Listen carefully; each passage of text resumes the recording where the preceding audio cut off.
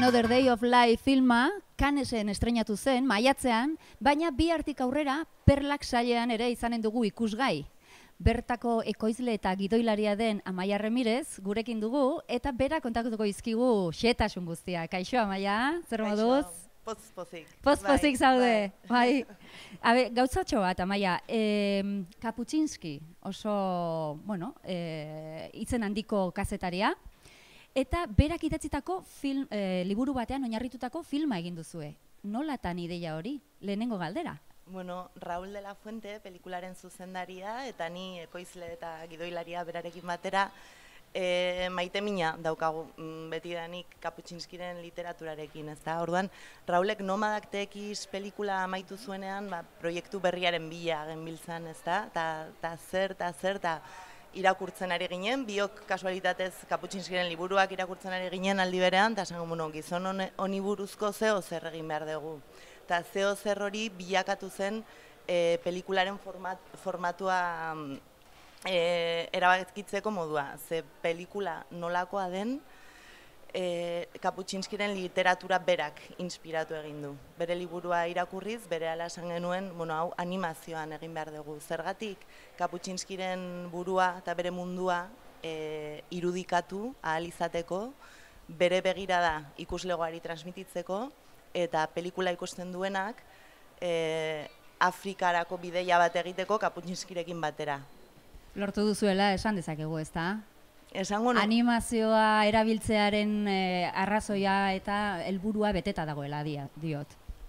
Bai, bai, guztiz, ze animazioak albidetu du, ba, pasarte oso surrealistak egitea, oso, oso poetikoak ere bai, eta baita abenturazko pelikula bat e, eraikia izatea, ez? E, Gurasmoa zen ikuslegoak ongi pasatzea pelikula hau ikusterakoan. Baina animazioaz gain, e, irudi errealak ere txertatu dituzue, eta hor e, artxiboko irudiak ikus ditzakegu, angolako gerran e, egondakoekin elkarrizketak ikusi ditzakegu, hori e, ez da ba, batera erreza izanen? Ez, baina horrela jaio zen pelikularen asmoa. E, jaiotzetik izan zen gure asmoa animazioa eta irudi erreala guztartzea. Animazioa da pelikularen gehiengoa, baina pelikulan e, aurkeztu nahi izan ditugu Kaputxinskirekin mila deretzireun da irurogeita amabostean Angolako e, independentzia gudan e, izua eta ikara eta gerrako latzkeriak pasatu zituzen pertsonen bizi, bizipenak. Orduan horregatik agertzen dira hor, Farrusko komandantea, e, Artur Keiros kazetaria eta Luis Alberto kazetaria. Agertzen dira. Esan duzu lehen, e, eta esan dugu, kanesen estrenatu zela, zer moduzkoa izan zen, zen nolako harrera izan zuen?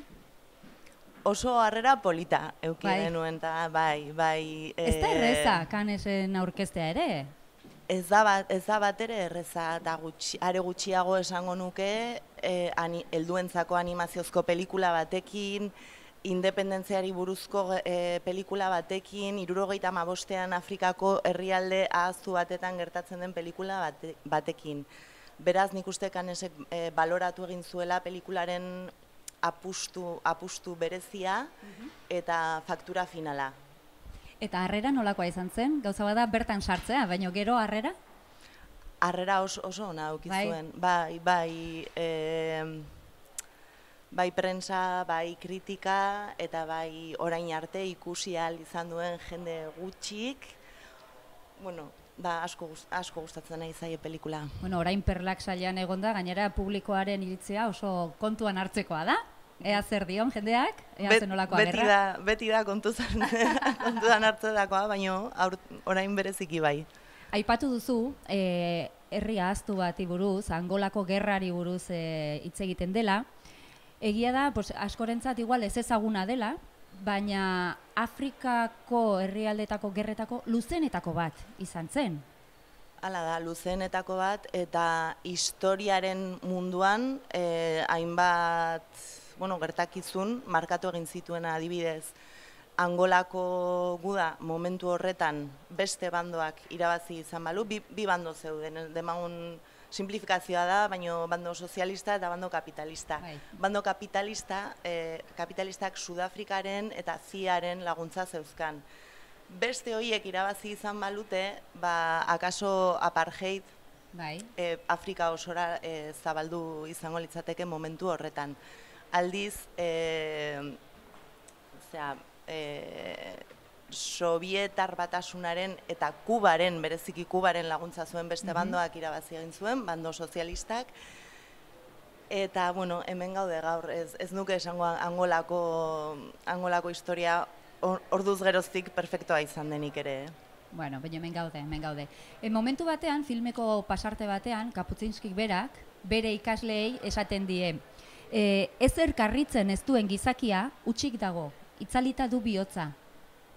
Arrituko algaitu, pelikulak, filmak. Bai, bai ez esango nuke, harrituko zaituztela eta espero dut ikusteko aukera izango duzuela. Oso Ikusteko goiz, aukera zera, badugu, bai, beraz ikusiko dugu eta harri- harritzen gaituen. Bai. Bada beste pertsonai bat, emakumezko bat, e, indar handia daukana gainera pelikulan, Carlota gerrilaria. Kaputxinskirengan nola eragin zuen Carlotak? Bueno, ba, Zertan? Guztiz, guztiz. Bai. Carlota, e, gerrillari, mulata, gaztea eta idea, idealismoz beteta, angolako gudan e, ba, ga- gatazkan sartuta zegoen, ez da? Eta berak nahi zuena zertzan, berak ez, ez zuen e, berak, berak nahi zuena zan e, bere herrialderan herrialdearentzako etorkizun berri bat. Hau da, ume, umeek eskolara joan izatea, danok osasuntxu eta ongi elikatu egotea, horrela- horrelako ideal sinpleak, baina bere bizizkoak direnak, ez da? Orduan, Kaputxinski Carlota ezagutu zuenean, konturatu zen, nik uste momentu horretan akaso konturatuko zala, ezin zuela angolako guda, telex e, txiki eta motzetan kontatu baizik eta askoz gehiago zegoela horren horren atzetik.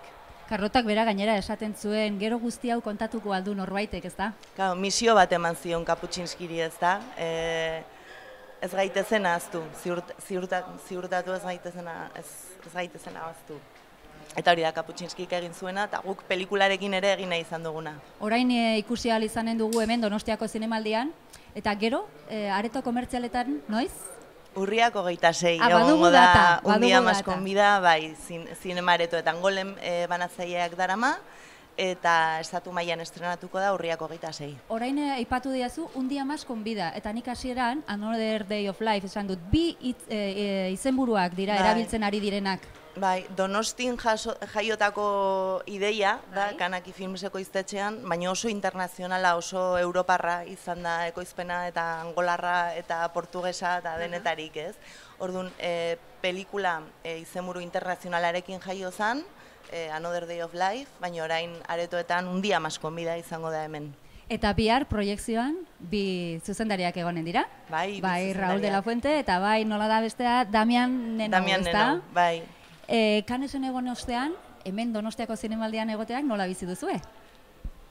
Zirrara handi... Etxean jokatzea da, ez? Urduritasunez ere bai, oso pozik ze pelikulako delegazio guztia dator, Ah, bai. koproduktore guztiak, bi zuzendariak, e, argazki zuzendaria, Gorka Gomez Andreu, e, soinu diseinatzailea, Oriol Tarrago, eta, eta musikako, e, musika egin duen Mikel Salas, danak. Danak zaudete Danak, bihar, bai. ekipo guztia izanen duz, Bai. izan dugu hemen. Eta galdetu beharra dizu dana.